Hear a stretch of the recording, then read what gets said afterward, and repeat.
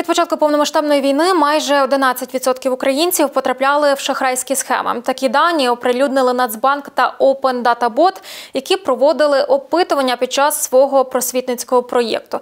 Опитування пройшли майже 113 тисяч українців. Про психологію обману і власне чому люди здатні довіряти шахраям та як не втратити гроші. Сьогодні говоритимемо з психологинею Наталією Савелюк. Вітаю вас!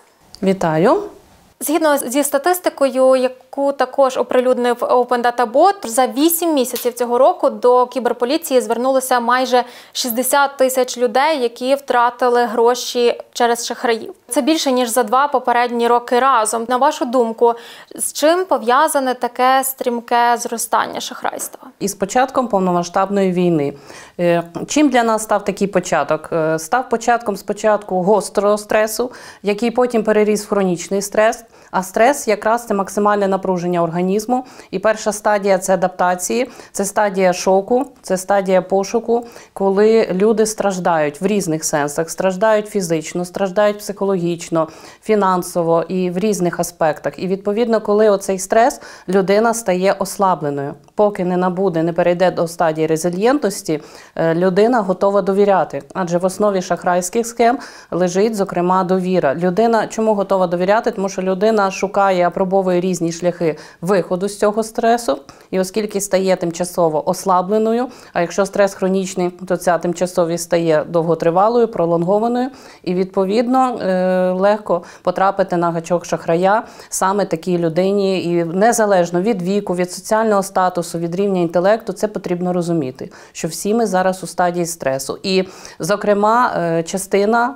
Психотравмовані це ще складніший феномен, теж який робить людину ослабленою, довірливою, тому що людину такою, котра шукає захисту, допомоги, підтримки, на жаль, е, не завжди в доброчесних людей, котрі маніпулюють. Тобто люди, які могли там втратити будинки під час повномасштабного вторгнення, переїхали в інші області, вони можуть більше потрапляти в ці шахрайські схеми, так? Є різні соціально-демографічні групи. Війна додала до складу цих груп наших внутрішньопереміщених громадян, і в котрих, от якщо згадати відому піраміду потреб Маслоу, то базові потреби все-таки фізіологічні потреби в безпеці. І ці потреби війна радикально порушила. Тому, на жаль, в Україні в умовах війни додалася категорія оцих людей, котрі позбавлені дійсно найнеобхіднішого житла, роботи, фінансової стабільності. Залишаються класичні групи, які теж є більш потенційними е, спільнотами, котрі можуть потрапити на гачок шахраїв. Ці люди легко навіювані. Це, зокрема, діти, тому що вікові особливості такі. Це люди похилого віку, і це, зокрема, люди з різними залежностями, з адиктивною поведінкою, котрі з різними проблемами, з девіантною поведінкою, котрі також будемо це визнавати, шукають легкий заробіток з різних причин. Ви вже згадували, що діти і також люди похилого віку. Якраз в цьому дослідженні йдеться, що найчастіше шахраї обманювали молодь віком 18-24 років і власне людей е, 65+. Чому от саме такі вікові категорії найчастіше піддаються впливу шахрайського? ООН оголосила, можна сказати, епідемію самотності. Оголосила самотність як найбільшу загрозу для е, психічного, психологічного благополуччя населення. І, власне, молодь, як доводять дослідження, потрапляє в таку найбільш ризиковану категорію. Ну а власне, що таке самотність? Ми істоти соціальні, і відповідно молодь теж шукає підтримки, шукає захисту. Молодість це період, коли людина активно самовизначається, вибудовування індивідуальної траєкторії життя, пошук ідентичності, і, зокрема, пошук сім'ї, пошук роботи, і знову ж таки пошук тих, кому можна довіряти. І е, часто, от ми говоримо в контексті війни, так на жаль, втома від війни це явище, про яке говорять, і також може бути втома від пошуку цих заробітків, таких непростих в умовах війни. І тому, знаєте, диво, от саме молодість від дитинства здається вже пройдений такий великий шлях. Але віра в диво залишається. Оце як американська мрія, такий, такий метафоричний зворот. Тобто е, хочеться, це треба визнати. Є потреба е, в цих непростих, складних стресових умовах е, повірити в те, що може бути от простий шлях, скажімо, до коштів, до виграшу певного, до якихось бонусів. І на цьому також відіграються шахраї. Також в цьому контексті, от поруч з молоддю, згадуються і люди, як тепер кажуть, зрілого дорослого віку, котрі також переживають відчувають і підвищений ризик самотності. І взагалі, крім психологічних факторів, візьмемо знову ж таки базова ця сходинка, піраміда потреб масло, фізіологічні потреби, мізерні пенсії, які в сучасних умовах ми розуміємо ускладнені історичні, суспільно-політичні. Коли не вистачає коштів на найнеобхідніше, то е, справді теж хочеться вірити в добро, вірити в диво, і відповідно е, люди такого віку також схильні довіряти. Впродовж осені до кіберполіції Тернопільщини звернулося майже тисячу людей, в яких виманили гроші. Які шахрайські схеми є найпопулярнішими, я пропоную переглянути у нашому сюжеті. До найпопулярніших схем шахрайства, від яких потерпали жителі Тернопільської області, найпершу чергу належить це недоставка товарів в мережі інтернет та фішинг.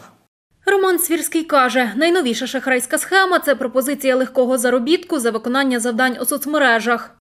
До вас пише невідома вам особа з закордонного номеру, представляється менеджером великої компанії або по доставці посилок, або по роботі з соцмережами, і яка пропонує роботу, яка би була вашим додатковим заробітком. Людям, які погодилися на таку роботу, пропонують виконати завдання. Наприклад, потрібно вподобати відео у Ютубі чи написати коментар. Але щоб отримати це завдання, його потрібно викупити, поповнивши свій особистий кабінет. Протягом листопада до відділів поліції в Тернопільській області зверталися мінімум двоє людей в день. Це самий самий мінімум. Суми там різнилися від декілька десятків тисяч гривень до навіть було і 450 тисяч гривень людина втратила. Найпоширенішою шахрайською схемою, за якою жителі Тернопільської області втрачали гроші, є фейкові інстаграм-магазини, каже Роман Свірський. Домовляєтесь про купівлю товару. Неважливо, чи це телефон мобільний, чи це якийсь одяг. В розмові вам каже, що необхідно заплатити повну суму за товар. Поповняєте особисту карточку продавця, домовляєтесь за доставку, і в день доставки ніякої посилки ви не отримуєте. Відповідно, ви намагаєтесь зв'язатися з продавцем, продавець вас заблокував. Якщо брати в цифрах, це близько 70-80 заяв е, до нас приходить кожен місяць щодо якраз іменно недоставки товару. Хотіли купити iPhone там 14-й, заплатили там 30 тисяч гривень, але телефон там, наприклад, не прийшов. Тернополянка Ліза Осачук два роки тому також зробила покупку в такому інстаграм-магазині. Каже, тоді навчалася на другому курсі університету та хотіла зекономити гроші. Побачила в інстаграмі класну рекламу взуттєвого магазину. Знайшла там модель, яку дуже дуже хотіла, і вартість її становила тисячу гривень. Е, В принципі, я розуміла, що воно так не може коштувати, тому що це шкіряне взуття мала вартість. Але все ж таки повелась, думаю, ну була не була. Ще одна схема інвестиції. Найбільшою сумою по шахрайствах на території Тернопільської області, яку втратила в нас жителька, була сума в 5,5 мільйонів гривень. Це було шахрайство під виглядом псевдоінвестицій в мережі інтернет. Тернопільські кіберполіцейські кажуть, щоб не потрапити в пастку шахраїв, потрібно дотримуватися декількох правил. Їх показали в ролику, а також зробили брошури, каже інспектор відділу протидії кіберзлочинам в області Максим Серватнюк. Не переходьте по сумнівних посиланнях, не вводьте реквізити банківської своєї карточки, купляйте на перевірених ресурсах товари. Якщо до вас е, телефонують з банку і кажуть, що ваша карта е, заблокована, чи зараз шахраї намагаються е, стягнути з вас кошти, не вірте, бо 99% це шахраї. Не повідомляйте таким людям дані про свою банківську карточку. Якщо дзвонять, кажуть, що ви виграли 100 тисяч чи машину, не вірте, це також шахраї. Ми побачили, що найпопулярнішими схемами шахрайства є інстаграм-магазини фейкові, гроші за лайки в соцмережах і псевдоінвестиції. Чому люди все-таки здатні довіряти шахраям і вестися на такі, здавалося б, зрозумілі шахрайські схеми? Оскільки довіра це е, базується на ірраціональному такому, на ірраціональній складовій нашої психіки, то тут не спрацьовують аргументи, логіка, аналіз. Е, Переосмислення, а спрацьовує цей такий ефект, що надали руку допомоги, яку я начебто, начебто руку допомоги, яку я потребую. Ще один е, з базових механізмів, яким також, на жаль, користуються шахраї, це е, сім базових емоцій за Полом Екманом. І серед цих емоцій є як радість, як позитивні емоції, так і негативні страх. Якщо от розібратися, так, то одні шахрайські схеми, наприклад, так, та сама обіцянка легких грошей, у нас працьовує на якраз обіцянці е, таких речей, які приносять людині радість, причому радість до якої не потрібно докладати зусиль. А інші схеми користуються на навпаки на страхові, на залякуванні. Це, наприклад, оці нічні дзвінки, так, коли щось, начебто, е, когось з близьких людей забрали, десь там щось пошкоджено, щось може статись. Ці емоції запускаються і вони активізують нашу праву півкулю, яка ірраціональна. І коли домінує правопівкульний цей стиль, так, цей раціональний, несвідомий, відповідно, людина не здатна критично мислити.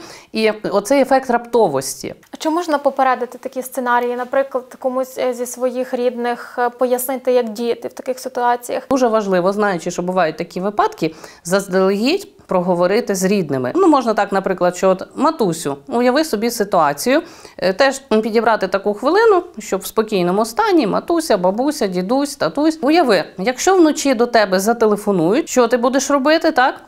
Нехай дасть відповідь. Можливо, людина так і скаже, що я буду спантеличена, я буду збентежена. Важливо тоді проговорити оці почуття і надати антисценарій протидію цим шахрайським маніпуляціям. Матусю, татусю, ти не будеш називати номер картки, ти одразу зателефонуєш мені. Я бачу як один з основних засобів такої, знаєте, протидії проговорення у цих ситуацій навіть в деталях, найменших деталях проговорення почуттів і протидії. І також важливо ну, такий е, принцип або навіть технологія коріння є в нейролінгвістичному програмуванні. Наприклад, якщо обіцянка легких коштів включати оцей якір асоціацію, взяти себе за руку, схаменися. Наприклад, взяти за руку, зупинися, поміркуй, вдихни, видихни. Поміркуй хвилинку, а чи може так бути? І це теж можна декілька разів програти. Таку ситуацію, навіть знаєте, я би радила, якщо така можливість, з мамою, з подругою. Так, напиши мені чи скажи мені, ти виграла в лотерею мільйон, але треба на карточку нам чи надати свій номер. Яка твоя реакція? Схаменися, зупинися, взяти за руку, так, чи якусь ну, будь-який ритуал, який зручний. Це теж може оце як коріння вплинути на те, що мозку спрацює, ну дозвольте так назвати, антисценарій протидії цим шахраям. А як щодо психології самих шахраїв? От як би ви описали цей портрет? Хто найчастіше займається шахрайством? Які психологічні особливості цієї людини? Що її мотивує це робити? Складно е, навести такий типовий, надто типовий портрет шахрая. Це можуть бути різні індивідуальні риси, це можуть бути різні обставини життя.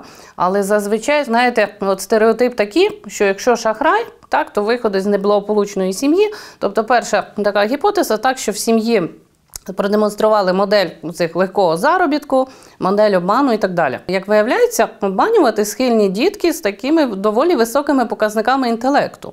Хоча здавалося б так, що маніпулюють, обманюють з нижчими, ні. Діти саме е, першими починають обманювати, в яких цей психічний розвиток, зокрема розвиток інтелекту, доволі стрімкий. Тому можуть бути шахраями з одного боку, як з неблагополучних сімей, так можуть із доволі благополучних сімей з високим інтелектом, але в котрих от може, наприклад, бути авторитарний е, батьківський стиль виховання або стиль неприйняття, і відповідно хочуть домогтися незалежності, автономності. Чула як психологиня такі історії. Була дівчинка доволі з благополучної сім'ї, доволі заможня, котра мала все.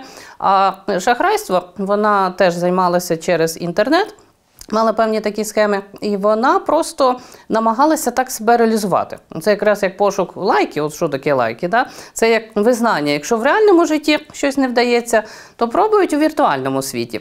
Таким чином вона намагалася самореалізуватись, і я припускаю, що можливо її виховували, з кимось порівнювали, от хтось розумніший, а ти отак. Тобто намагалася сама собі довести, от яка я розумна. Я так зрозуміла. От, типу, я ж розумна, я можу обманювати людей, я можу добиватися свого. Я взагалі вважаю психологиня, що шахраям теж потрібна психологічна допомога, як в булінгу. І тому, хто постраждав від булінгу, і булеру теж потрібна психологічна допомога. Тому шахраям теж потрібна психологічна допомога, власне, виходячи з тих унікальних обставин життя, виховання, індивідуальних особливостей шахрая, вони теж потребують цієї психологічної допомоги, і психологічної, і моральної, коригуючої. Я дякую вам, Наталію, за дуже цікаву розмову. Нагадаю нашим глядачам, що ми говорили про психологію обману та як не потрапити у шахрайські схеми. Залишайтеся на Суспільному.